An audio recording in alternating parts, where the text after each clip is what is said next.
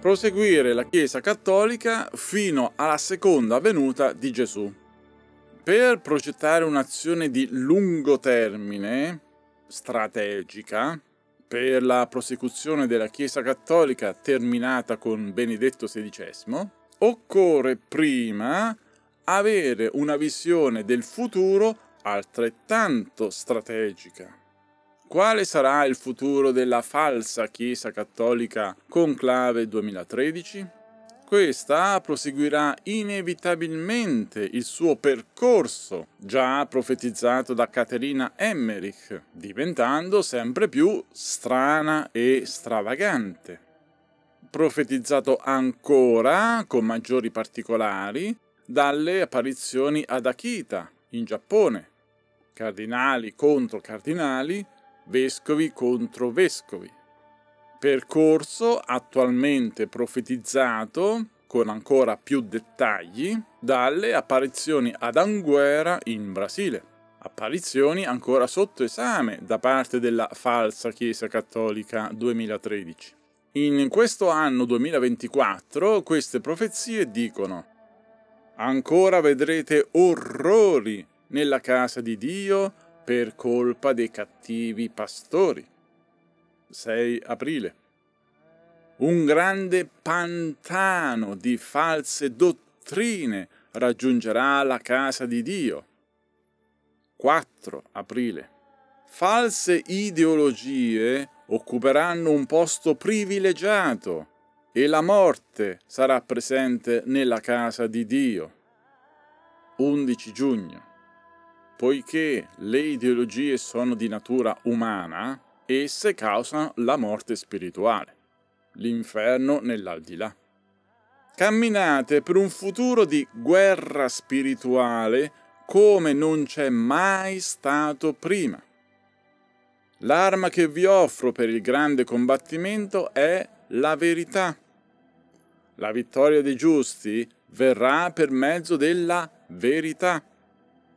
Qualunque cosa accada, non vi allontanate dalla verità. 8 giugno, eccetera. Questo è il futuro della falsa Chiesa e antichiesa cattolica conclave 2013. Probabilmente ciò porterà alla seconda venuta di Gesù, che avverrà fra tre anni, trent'anni, trecento anni non lo sa nemmeno Gesù, ma solo il Padre. Ora, dato che il Padre ragiona secondo tempi biblici, allora nella progettazione da parte nostra di una qualsiasi attività, conviene ragionare secondo tempi ancora più biblici dei suoi, ossia ipotizzando la seconda venuta fra 300 anni. Ciò significa che oggi occorre organizzare un'attività che possa durare 300 anni. Cominciamo a vedere per chi e per che cosa. All'interno della Chiesa Vaticano 2013 la situazione di degrado spirituale porterà progressivamente e inevitabilmente sempre più fedeli e sacerdoti a riconoscerla come falsa Chiesa e pure anti-Chiesa cattolica. Quindi, da parte nostra, occorrerà innanzitutto aiutare questi fedeli e questi sacerdoti ad accettare la realtà per cominciare spiegando loro che la Chiesa Cattolica non è il palazzo del Vaticano, ma il Papa legittimo. Poi spiegando loro cosa ha fatto Benedetto XVI con la Declarazio. Ed infine accogliendoli, specialmente i sacerdoti, in una organizzazione. Lo scopo è quello di portare avanti la Chiesa cattolica, terminata con Benedetto XVI, fino alla seconda venuta di Gesù. Vi spiego la mia proposta, che potrete personalizzare e adattare alla vostra situazione locale specifica. Abbiamo un esempio. Innanzitutto abbiamo un esempio. Non è perfetto, ma al momento è l'unico esistente. Si tratta inevitabilmente di Don Minutella. Don Minutella porta avanti la Chiesa cattolica a livello locale, a casa sua. Perciò anche noi facciamo la stessa cosa, ciascuno a casa propria. Ora noi fedeli non siamo sacerdoti, non possiamo fare esattamente come Don Minutella però ciascuno di noi può cominciare a costituire, ciascuno nella propria città, delle comunità locali, dei cenacoli Benedetto XVI, a partire semplicemente da se stessi, che in futuro potranno crescere nei suoi componenti fino a poter accogliere quel prete sacerdote locale, quel frate sacerdote, quel monaco sacerdote che prima o poi, a causa di questa o di quella nuova eresia del Vaticano, si deciderà a scomunicare la Chiesa Conclave 2013 e a rifugiarsi in questa comunità locale trasformandola in questo modo da cenacolo in parrocchia. Parrocchia Benedetto XVI. In questo modo voi otterrete tre risultati. Primo, avrete il Don Minutella di casa vostra. Secondo, in futuro avrete ancora l'Eucaristia.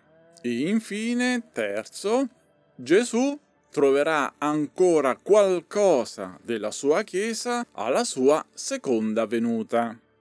Invece, se sarà un vescovo a scomunicare il Vaticano 2013, allora il cenacolo si unirà al vescovo, il quale troverà in questo modo già un gruppo di fedeli consapevoli che possono aiutarlo a spiegare agli altri la sua scomunica della Chiesa di Roma Conclave 2013. Tra parentesi, questi cenacoli saranno anche umanamente utili nei prossimi anni di guerre internazionali. Un passo alla volta comincio a presentarvi alcuni criteri per prepararvi a fare ciascuno semplicemente la propria piccola parte. Infatti il criterio di partenza è la Chiesa Cattolica è di Gesù. Solo Gesù salva la sua Chiesa. Noi possiamo salvare nulla noi possiamo solo aiutare Gesù. Noi facciamo il nostro 2%, che è già parecchio impegnativo e rischioso. Il restante 98% spetta a Gesù, quando vuole Lui, come vuole Lui.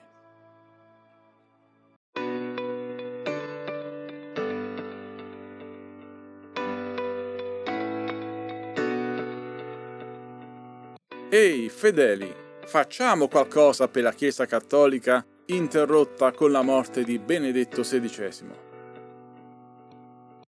Luglio 2024, Mark Voice. Don Minutella si occupa dei preti. Andrea Cionci si occupa del Vaticano. Noi fedeli ci occuperemo dei preti di casa nostra.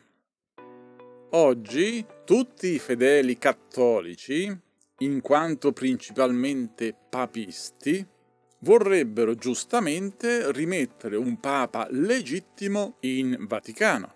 Tuttavia, gli unici che hanno il potere di farlo sono i cardinali 2013.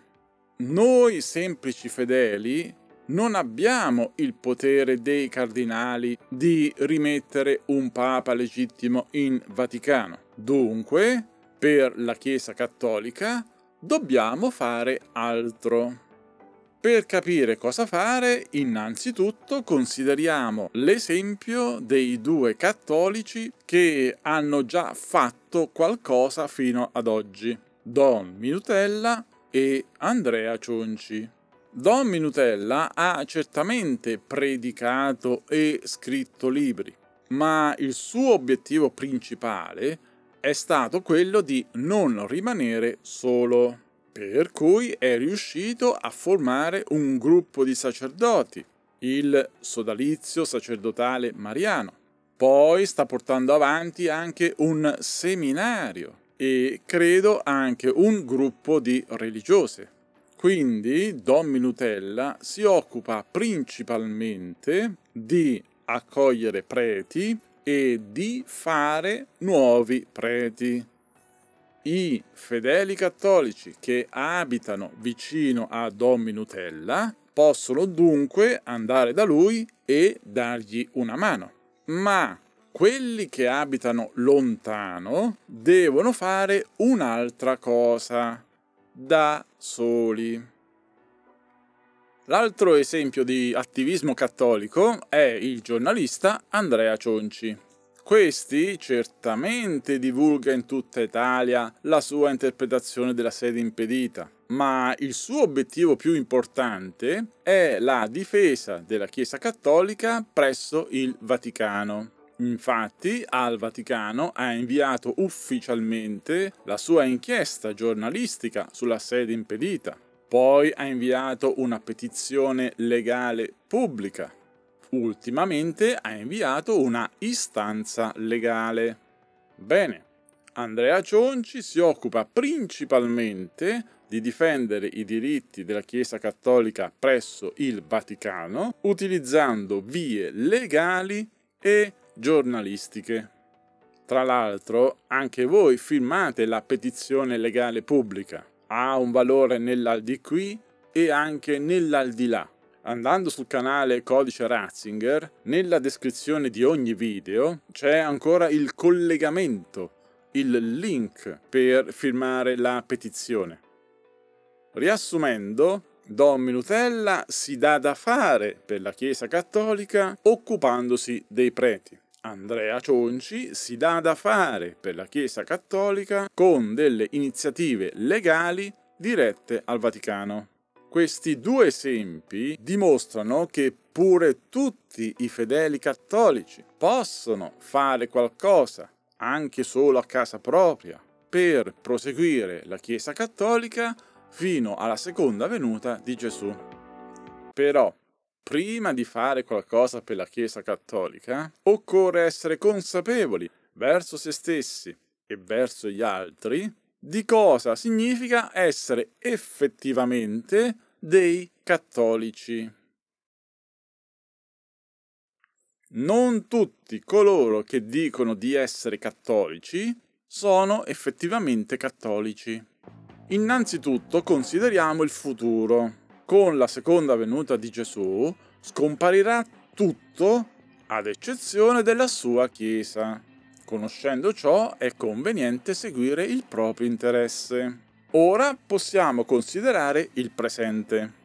Per poter passare all'azione occorre innanzitutto non perdere tempo dietro alle parole di chiunque semplicemente parli in modo critico e rattristato della Chiesa cattolica. Per esempio, Monsignor Viganò, per il fatto che è arcivescovo, che ha l'abito clericale ed è critico contro il Vaticano, è veramente cattolico? No, è certamente cristiano, ma non è cattolico. Esiste questa differenza che è ben conosciuta nei paesi protestanti, ma è quasi sconosciuta nei paesi a maggioranza cattolica.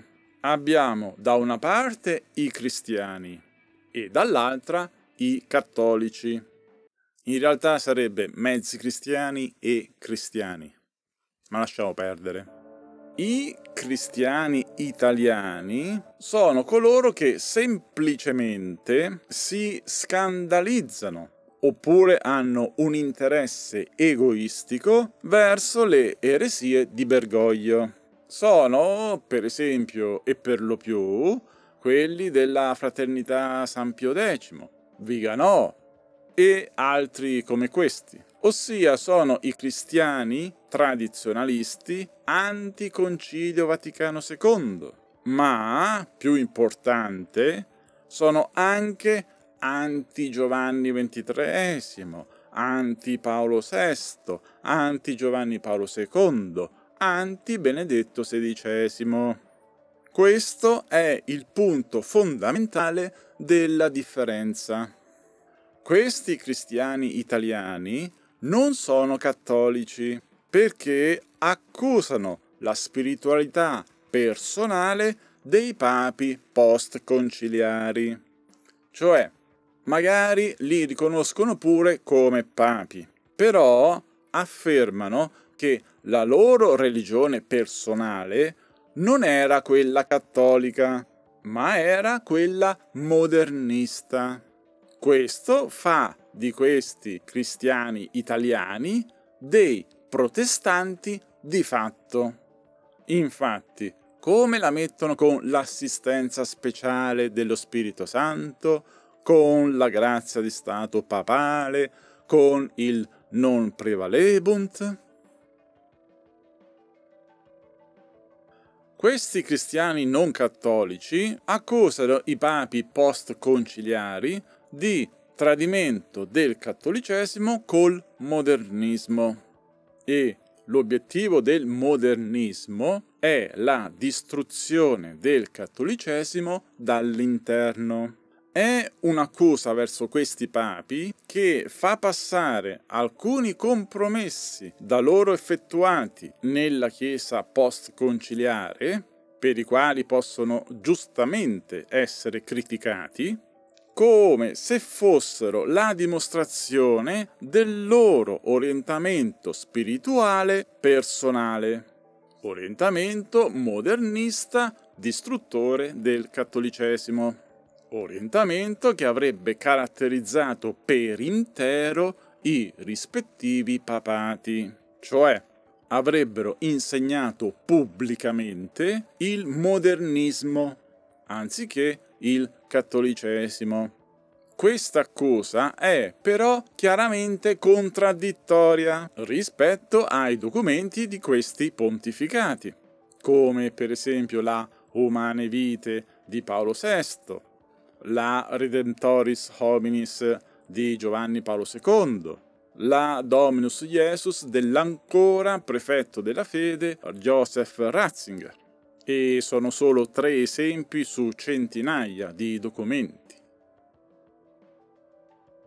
Quando li avete di fronte, questi cristiani non cattolici possono essere suddivisi in due categorie. Quelli scandalizzati e interessati come i sacerdoti e alcuni intellettuali furbacchioni, e quelli sinceramente scandalizzati, come i fedeli e altri intellettuali superficiali. La differenza è che ai primi fa molto comodo indicare Bergoglio come Papa cattolico, perché fanno loro molto comodo le eresie di Bergoglio per dimostrare la loro moralità, uno, di separarsi dalla Chiesa cattolica post-conciliare e due, di proporre se stessi come gli unici portatori del vero magistero della Chiesa cattolica. Infatti, se si ascoltano i fedeli che frequentano la fraternità San Pio X, Vigano, i canali come Cooperatores Veritatis e altri, vi diranno che loro hanno in alta considerazione la Chiesa cattolica e anche tutti i papi, ma che per la salvezza dell'anima si sentono al sicuro coi sacerdoti della fraternità San Pio X, con Viganò e con questo tipo di sacerdoti e intellettuali.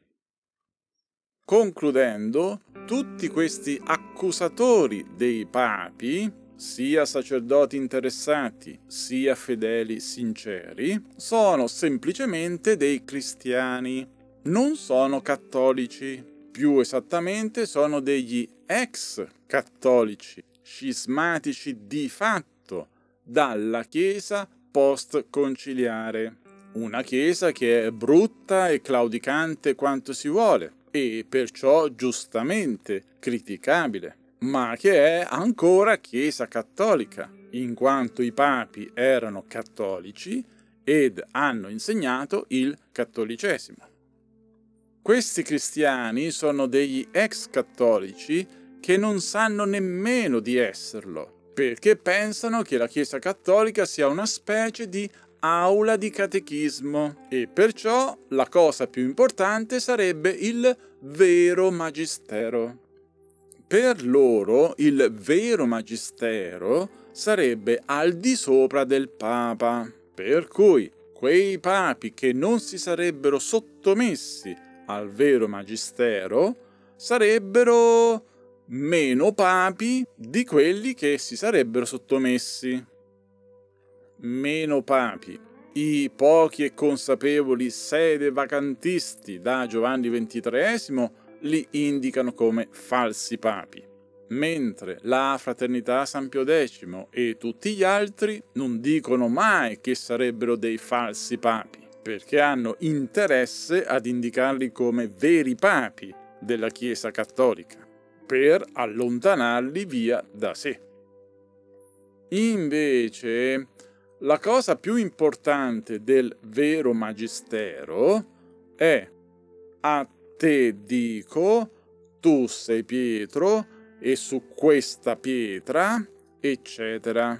Perciò la pietra non può diventare modernista, soprattutto non può insegnare ai fedeli cose moderniste, non può insegnare la distruzione del cattolicesimo.